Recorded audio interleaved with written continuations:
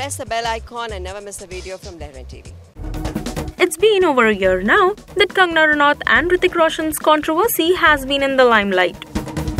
Going by the looks of the events around it, it refuses to die anytime soon. After months of silence, Hrithik finally spoke about the whole fiasco, first through a detailed Facebook post, and then came on television to answer all the unanswered questions.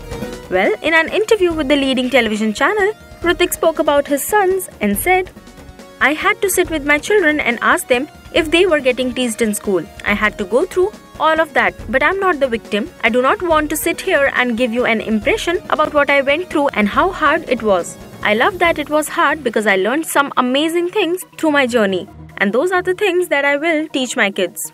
So, guys, what do you have to say about it? Mention below.